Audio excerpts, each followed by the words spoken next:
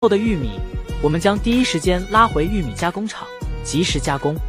采摘回来的玉米首先扒皮，然后经过气泡机清洗，清洗干净玉米表面的花丝和杂物，然后再经过杀菌线，风干冷却。看着玉米的鲜艳程度，就知道品质不错。然后再装入食品专用真空袋，抽成真空。八台真空机同时工作，每天可加工十万穗真空鲜食玉米。接着，工人们把玉米推入高温灭菌锅，进行一百二十一度高温灭菌，蒸熟以后就可以出锅了。待冷却后装箱，就可以送到消费者的餐桌了。所有的甜糯玉米从开始采摘到加工完成不超过五个小时，以此保证玉米最大程度。